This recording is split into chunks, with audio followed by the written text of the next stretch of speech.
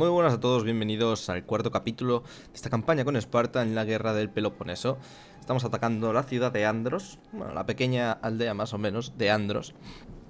Y bueno, aunque no tienen muchas defensas, va a ser una bonita pelea. Además, quiero entrenar a mis espartanos, con lo cual, luchando yo las batallas personalmente, creo que conseguiré que ganen más experiencia que, bueno, dejando que la IA resuelva automáticamente.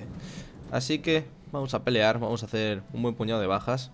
Escogeré a tres unidades de espartanos, las que menos experiencia tienen, para que empiecen a practicar. Y nada, yo creo que así conseguiremos una mejora interesante. Venga, haced un, una andanada ahí todos a la vez impresionante, de esas que os gustan.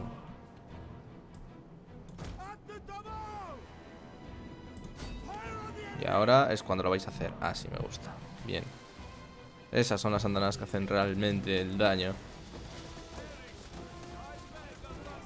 No me gusta que estén juntos.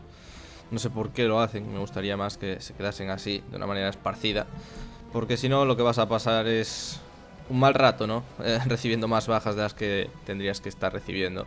Por culpa de que, claro, están demasiado juntos y para recibir proyectiles por todas partes. Bueno, vosotros tres, venid. Tengo una colocación extraña en el ejército. No hace falta que me lo destaquéis. un pequeño problema con el arrastrar. Pequeño problema. Y bueno, aquí llegan los amigos. Estos jabalineros van a hacer un buen puñado de bajas, por lo visto. Esto quitados el tema... Uy, uy, uy. Grupo 1 corre. Vamos a sacar estos de aquí. Tienen bastantes hostigadores. Tienen uno más y creo que tiene arqueros. Sí, ahí los están. Así que bueno, bueno.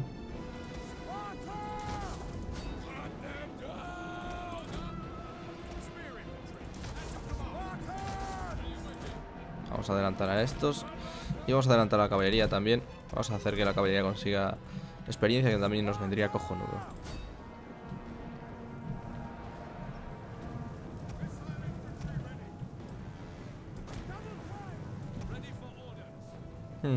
vamos a pillar Claramente. Este que vaya por estos ya Y este va a ir a la plaza Y va a coger, va a coger aquí a los arqueros. Hola, ¿qué estáis haciendo? Los estáis comiendo. Coño, y funciona. Lo que me fascina es que funciona. Lo tendré en cuenta para otra táctica. Vamos a probarlo con estos.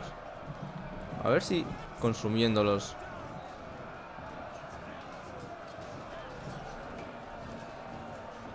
Y ahora ataque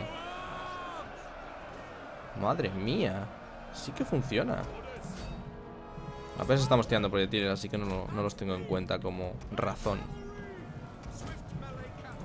Hostia, tú. Buena táctica, ¿no? Si tienes una falange súper... Muy superior, quiero decir, pues yo creo que debe ser... La manera más eficaz y sin duda más rápida de, de destruir una falange enemiga con oplitas. Joder. Bueno saberlo, bueno saberlo. Mejor tarde que nunca, ¿no? bueno saberlo. Bueno, caballos. Ya habéis hecho vuestro trabajo, supongo que no queda nadie por aquí. Eh, victoria y vamos a finalizar ya porque tampoco queda mucho más que perseguir. Fácil victoria. Uno de ellos creo que sí, que ha ganado un punto de experiencia. No está mal. Los otros dos no, pero por poquito probablemente.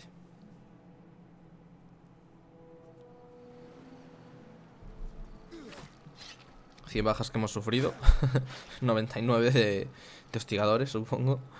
Porque espartanos en sí creo que no ha muerto prácticamente nadie. Muy pocos.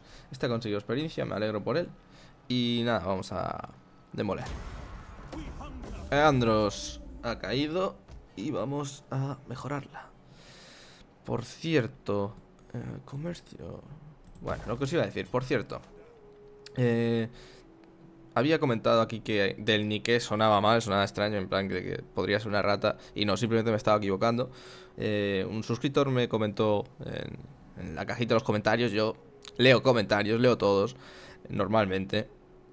Y bueno, es una expresión griega y dicen del Nike, del Nike, o sea que está bien dicho así. Y nada, problema resuelto. Lo arreglo y yo no tengo ningún problema en admitir errores. De los errores se aprende y creedme, yo más, yo más. Yo soy el mítico que metía la mano en el fuego tres veces para asegurarme, para asegurarme y cerciorarme mucho y mucho y más aún de que el fuego quema, ¿vale? Así que no tengo ningún problema en que me corrijáis, os lo digo en serio. Y bueno, Beocia vemos que le ha echado huevos, o sea, me imaginaba que iba a atacar a Teras, no me imaginaba que lo iba a hacer... Bueno, sí, la verdad es que me imaginaba que lo iba a hacer tan pronto, pero... Aún así me sale, no sé, me sabe raro, ¿no? Que lo hagan ya, que ataquen ya. Nosotros lo que vamos a hacer es saquear un poco. Ganaremos un dinero extra. Y como no puedo reclutar nadie, a nadie por aquí, pues simplemente vamos a esperar ahí un rato. No, no tengo ninguna prisa.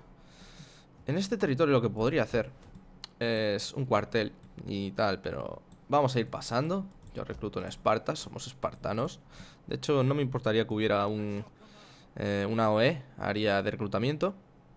Y bueno, con este ejército lo que haremos luego va a ser avanzar a Labrio, a ver si podemos capturar este territorio, que la verdad es que sería muy muy beneficioso. Tomar paros y naxos molaría, molaría mucho, pero necesitamos dos flotas más o menos, o tres, como la que tenemos aquí en el oeste para, para, que eso se convierta en una realidad, porque si no va a ser muy, muy complicado. Aunque la verdad estoy bastante orgulloso de esa flota, tiene, tiene buena pinta, promete, promete mucho. Vamos a construir ese puerto, a no ser que tenga que construir algo por aquí. Uh. Luego cambia. Interesante. ¿Por qué me das varias opciones?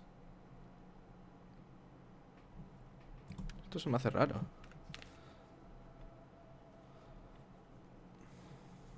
¿Cuál subiría? El de Zeus me gusta porque es riqueza proveniente de toda fuente y la verdad es que tenemos aquí un cacao de, recursos bastante, bastante imponente. Con lo cual el de Zeus, sin duda alguna, vendría, sin duda alguna, vendría bien. Este de Poseidón también vendría bien por la comida, obviamente. Y bueno, a destacar básicamente estos dos. Pero por el momento estamos bien. No vamos a construir nada y el de Festo no lo quiero. Aunque es bueno, ¿eh? Ojo, es bueno, pero no tenemos prácticamente nada de industria. Bueno, pues sí que tenemos industria. De hecho, este territorio podríamos mejorar la industria bastante. Aún así, prefiero el de, el de Zeus. Vamos a mirar tecnología. A ver qué necesito. Para los templos. Pues parece ser que bastante. Nivel 4 de por aquí, este para el templo de Atenea. Joder, pues no falta nada. no falta nada. Permite reclutamiento de dignatarios de nivel 1. Puede que vayamos luego por filosofía. Esta rama de filosofía. Simplemente para conseguir la tecnología. Bueno, eh, el tier 1, ¿vale? De, de, filosofía. El tier 1 no estaría nada mal tenerlo ya. Pero bueno, vamos a invertir. Ese templo no lo voy a construir, pero mira, así lo que vamos a hacer es construir aquí este astillero, puerto o lo que sea. Y este ejército, bueno, vamos a dejarlo aquí a ver qué hace. Pero pensándolo bien, creo que ahora me dejaría avanzar por aquí, sinceramente. Creo que sí, sí, me deja avanzar ya que está bajo asedio Atenas. Así que tomar Labrio va a ser una realidad mucho más cercana. Me gusta, me gusta. Muy bien. Muy bien. Y lo que vamos a hacer al tomar Labrio es crear aquí una fuerza bastante importante de espartanos. Me gusta, me gusta la idea. Y vamos a aprovechar y vamos a reclutar una flota en Caristo, ya que no está defendida. Vamos a poner a este, conversión cultural. Mira, esto nos viene perfecto. Nos viene para el pelo, porque tenemos que convertir culturalmente estos territorios. Y Beocia, la Liga Beocia, no creo que comparta nuestra cultura, con lo cual va a estar ahí, ahí. Es más, estoy por llevar a este dignatario ya y empezar a, a difundir un poco la cultura toria. Vale, vamos a poner puñado de barcos a construir. Y nada, vamos a pasar turno ya. Pleistoanax. Este es nuestro líder, me acuerdo de su nombre, aunque no os lo creáis. Los hijos de Heracles. Eh, he escuchado, bueno, he escuchado, he visto muchos, muchos nombres que me estáis poniendo y la verdad es que tenéis buen gusto. Tengo que añadir esto, tenéis buen gusto para los nombres Y bueno, a medida que vayamos sacando ejércitos Empezaré, empezaré a aplicarlos, ¿vale? La verdad es que por el momento los, los ejércitos que tenemos Los nombres de los ejércitos que tenemos no están nada mal Y lo único que tal Que no me convence demasiado es el nombre de las flotas. La venganza de Atlantis, esto ese no está mal, pero el juicio, el juicio de Tesalónica Mm, no, no me convence, vale, no me convence. Así que también quiero nombres para las flotas. Finalicemos turno, ahora sí. Algo como la furia de Poseidón. Me acuerdo de uno que, que, que puso en un comentario que llamase un ejército la ira de Case. no está mal, vale, no está mal, no queda mal, pero quita un poquito de, de inmersión. Y bueno, aquí está lo que os comentaba. No era la peste, como bien se conoce, porque a lo mejor yo digo la peste y vosotros pensáis en la peste negra o algo así. Yo me refiero a una peste cualquiera, una enfermedad, la que fuera en aquella época, que empezó a asolar Atenas y por eso básicamente perdieron la guerra. Eh, aquí está, la plaga de Atenas. La guerra se impone sobre las naciones de manera injusta. Una plaga causada por la guerra y la sobrepoblación azota Atenas. El orden público ha saltado por los aires. Los ciudadanos se rebelan en las calles y los muertos yacen amontonados por la ciudad. La gente, llena de zozobra, culpa a los dioses y profana los templos con los cuerpos de muertos y moribundos. Aquí tenéis menos 50% de la riqueza proveniente de toda fuente, menos 10 al orden público por turno, interrumpe el reabastecimiento de unidades, interrumpe el crecimiento de la provincia. 12 turnazos. Joder. Cuando juegue con Atenas y me salga esto, me va a doler mucho, sobre todo el menos 10 al orden público por turno. Me va a doler muchísimo. Bueno, y lo de la riqueza también, evidentemente, pero... Joder. No, no se cortan, no se cortan, ¿eh? No se cortan nada. Bueno, vamos a tomar labrio. Vamos a atacarlo ya. Que parece que está bastante indefenso. Bueno, pues no está bastante indefenso, ojo. Vamos a mantener aquí el asedio un momentito. Y vamos a ver cómo está la liga jónica. He hecho bien en ponerme a reclutar aquí navíos. Porque me da a mí que, quieren venir a por marcha estos chavales. Vamos a reclutar más jóvenes espartanos. No sé si serían más buenos los periecos o los jóvenes espartanos. La verdad, tengo mis dudas. Periecos. Vamos a fijarnos en ciertos atributos. 30, 26, 55, 70. 53. Sí, son mejores. Son mejores incluso en moral, algo que me fascina enormemente. Bueno, atacaremos Labrio, supongo. Pero antes de nada vamos a construir y a mover nuestra flota. Sobre todo mover nuestra flota. Bien, bien. Tú, también muévete, que no me olvido de ti. No sé si conseguirá Atenas.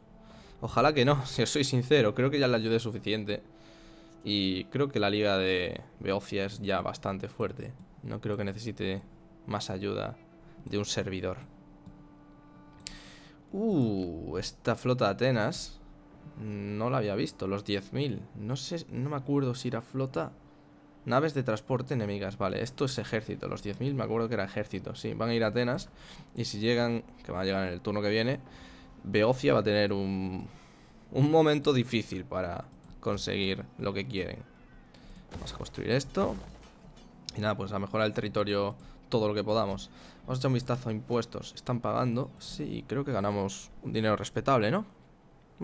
Dinero medio respetable. Tampoco, tampoco nos pasemos porque no es demasiado. Bueno, vamos a atacar Labrio. Promete una batalla bastante más entretenida. Con más sangre que la primera, por lo menos. Nada, pues eso, vamos a lucharla ya. ¿Por qué me ponen de fondo una imagen del Senado de Roma? No, gracias.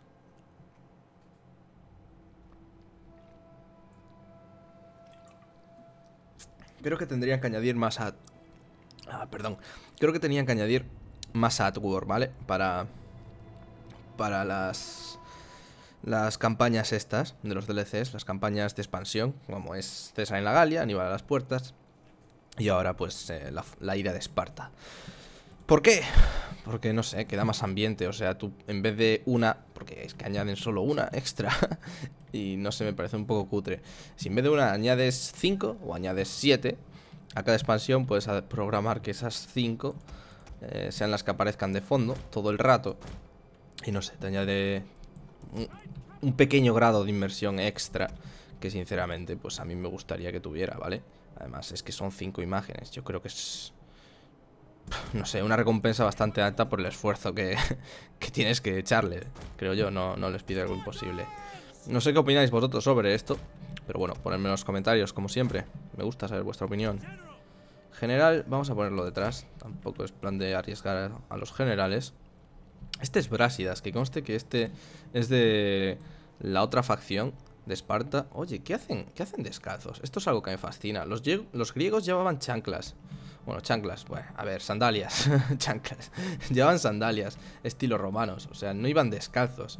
Descalzos van los hobbits, no, no, los, no los griegos, o sea, los espartanos, eh, en las Termópilas, para que os hagáis una idea, eh, antes de la batalla y demás, eh, se untaban en aceites. O sea, los griegos se cuidaban muchísimo. No creo que se pusieran en modo hobbit andando por el mundo descalzos. Sinceramente, ¿vale? Mi opinión. No sé a qué viene esto, Creative Assembly, pero bueno. Creo que se te ha ido un poco la olla, sinceramente. ¿Cómo, cómo vais al, combate descalzo? Madre mía. A mí me daría solo, solo el... es que, no sé, no me entra en la cabeza, ¿vale? Ir a un combate descalzo, o sea... Te, te esmeras, te esmeras, ¿vale? Te esmeras en chetarte armadura todo el cuerpo, pero vas descalzo. Buena esa, ¿vale? Buena esa. O sea, el escudo te cubre todo menos los pies y la cabeza. Y te pones, evidentemente, un casco, ¿no? Para cubrirte la cabeza. Pero no te cubres los pies. ¿Y si te pisan qué, muchacho? y si te tiran una lanza al pie, ¿qué? Y si te... Es que, no sé, no sé, se me hace una locura. Y sinceramente, si hubieran puesto a estos tíos descalzos, hubiera dicho, Meh, bueno, pasa nada. Pero en serio, tío... ¿En serio, tío? Que son espartanos reales. bueno, vale, paro ya. Que me estoy. Me estoy cebando ya mucho con. Con lo de las sandalias, ¿vale? Pero en fin, es que se me hace. Se me hace raro, ¿no? Lo siguiente. Vamos a avanzar lentamente. En total, los espartanos. Bueno, los espartanos, los soplitas en general ya son bastante lentos. Bonito detalle que los soplitas con armadura sean ya bastante más lentos andando. Que estos soplitas bastante más ligeros. Y los jóvenes espartanos, tengo que añadir que para no tener armadura, son muy buenos soplitas. Porque antes os comenté que los periecos sí que eran mejores que los espartanos, incluso en moral, algo que sí que me extraña y me sigue extrañando. Pero bueno, no pasa nada. Pero hay que tener en cuenta que esta es unidad con, con armadura decente y estos son simplemente unidades súper ligeras. Algo que es muy, muy, muy ventajoso si quieres hostigar y bueno, moverte por los flancos y demás.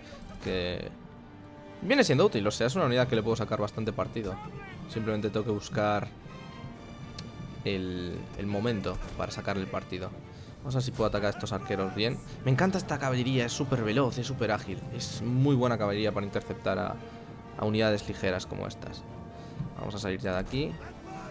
No vamos a cebarnos, evidentemente, porque primero me van a llover proyectiles de mis aliados y segundo, eh, sus soplitas me va a coger. Y no es plan. No, no es plan, para nada. Es una caballería tan ligera. Es que me encanta, ¿eh? Le estoy cogiendo un amor a estos, a estos caballistas. Me encantan.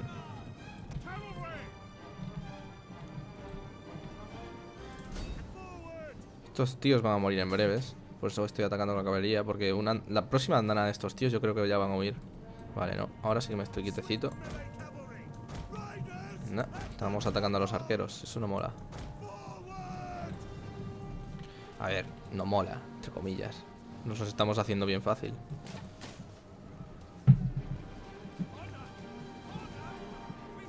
Oh. Puta vida, tete. Pum. Ay. Yo sí que le quito ambiente a veces. bueno, vamos a darle... Oye, hay algo, hay algo que me molesta, hablando de cosas que me molestan. Y esto me ya molestando desde que salió el Rome 2. Y es que si le dais a controles y os ponéis a buscar las teclas para, para quitar el HUD, para quitar el HUD y para quitar el HUD y ponerlo en cinemático, como lo veis ahora, os diríais, coño, bueno, pues vamos a, a, a controles y vamos a ver dónde está, a ver qué tecla es. Y lo encontrarías en todos los juegos. Bueno, aquí está la K. Pero el Alt K no está, maldita sea. Y quiero ver el Alt K. ¿Por qué nunca se ve el Alt K? Quiero cambiarlo, no me gusta darle a Alt K, lo odio. Quiero poner un botón que me guste. Y no me dejan, porque no aparece aquí. Creo que me voy a tener que meter en el archivo de controles del juego y cambiarlo desde el archivo. Y eso es algo que no tendría que estar ahí, ¿vale? Sinceramente, no tendría que estar ahí.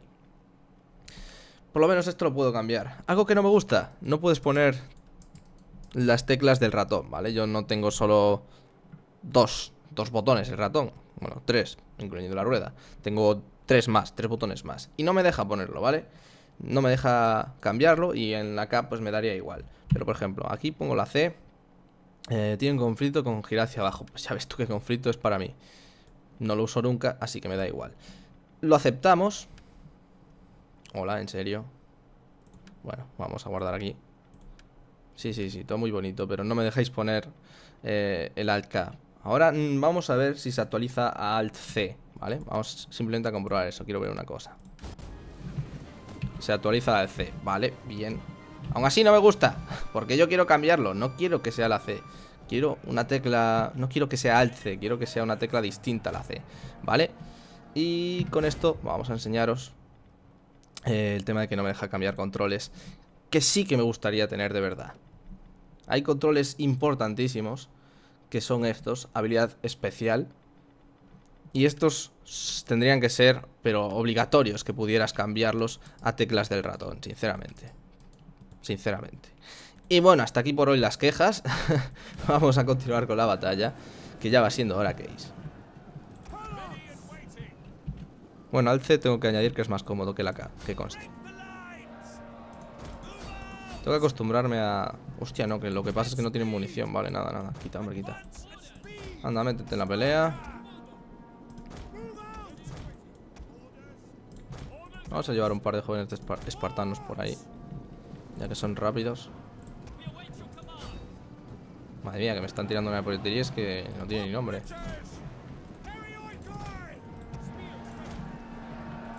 Vamos a hacerlo de la batalla de antes Que me gustó bastante el detalle, en serio sobrepasarlos y engullirlos. No sé, pero creo que va a ser la táctica que más use a partir de ahora con Oplitas. Me ha fascinado, en serio, me ha fascinado enormemente. Bueno, a ver, sois ligeros, quiero que corráis.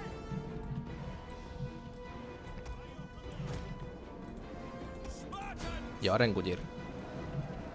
¿En serio? ¿Marinos? Sí, lo sé, he dejado a estos ahí, es que me da igual.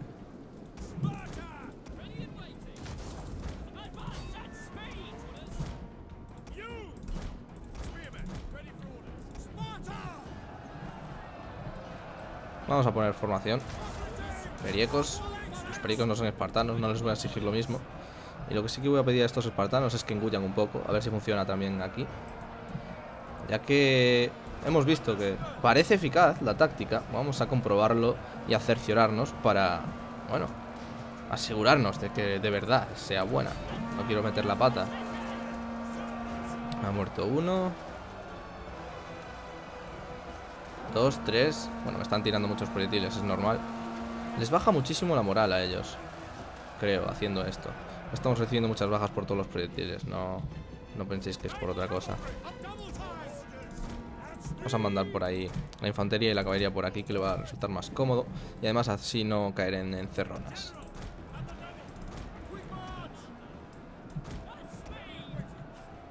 Son arqueros, por Dios. Ida por estos. Vamos a hacer que huyan para que dejen de tirarme proyectiles. Los marinos eh, de Atenas aunque son así súper ligeros, realmente son muy, muy, muy buenos, en serio. Lo digo porque estoy jugando con Atenas y lo estoy comprobando y me están gustando muchísimo, en serio os lo digo. Muchísimo me está gustando esa unidad. Bueno, la caballería se va a empezar a divertir ahora. Llega su momento y nada, rodea y destruye.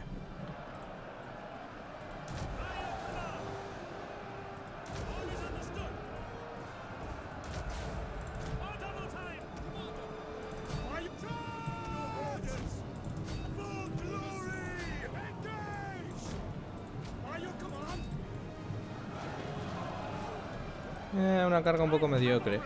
Las cosas como son. Pero ahí llegan los periecos. Vamos a dejar que los periecos se metan en el combate. Vamos a sacar la caballería. Nos vamos a su flanco y preparamos otra carga. Aunque no va a ser necesaria porque, bueno, como veis aquí ya se están desmoralizando enormemente. Pero sí, vamos a cargar igual.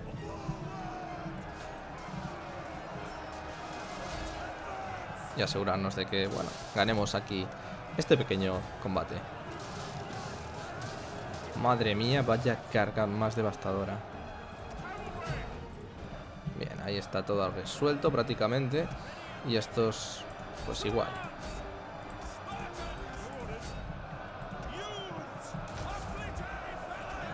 Vamos a poner estos en falange que están en una posición un poco delicada. Estos no, estos los voy a quitar el ataque ordenado, de hecho. Y así bien. Periecos, periecos. Tiras para acá. Me gustan estos periecos. Son, la verdad, es medios bastante, bastante interesantes. Me gustan.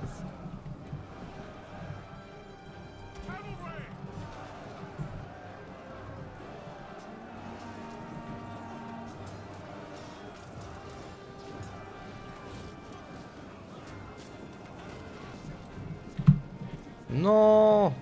Ahí hubo una, una, animación guapísima y no la vi. Uh, esta mola. Estos periecos tienen animaciones de oplitas profesionales, ¿eh? Me gustan.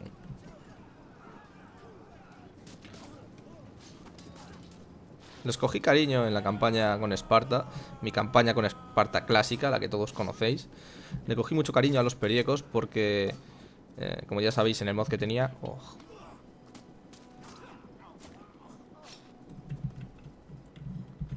Hashtag son datos, ¿vale? Joder, te has quedado... O sea, te acabas de hacer famoso en mi canal, que lo sepas, tío. Eh, os iba comentando.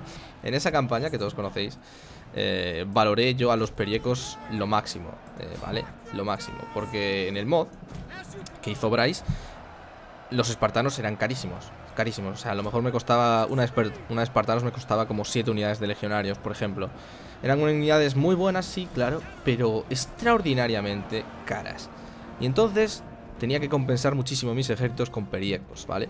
Y por eso les cogí mucho cariño. Porque además de que realmente eran relativamente baratos, relativamente, ojo, la verdad es que cumplían su trabajo y no sé, nos acabé cogiendo cariño. Y bien, es cierto que el ejército de Esparta, si no fuera por periecos, sería bastante menor. Hablo de esto, de datos de la realidad, ¿no?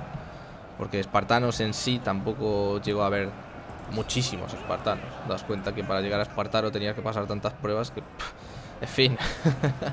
y bueno, luego hubo otros, otros factores que también no ayudaban demasiado a que la población de espartanos creciese. Y bueno, hemos ganado. Vamos a dejar que persiga un poco. Como os digo, la experiencia es súper importante. Así que vamos a dejar que, que maten a alguno, quién sabe. Por matar al último de los que persiguen. Consiga alguien uno de experiencia y le venga muy bien de cara al futuro. Así que vamos a dejarles. Bueno, no, esto ya es, esto ya es ansia. Victoria decisiva, buena pelea. Son bastante sangrientas las peleas con oplitas. Pero bueno, no está, no está mal. Hemos perdido un 10% más o menos. Bueno, un 10% más o menos no. Realmente hemos perdido 20% de lo que han perdido ellos. Un 10% de nuestro ejército, eso sí. Muy bien han peleado los, los periecos, tío. En serio, son buenos, ¿eh?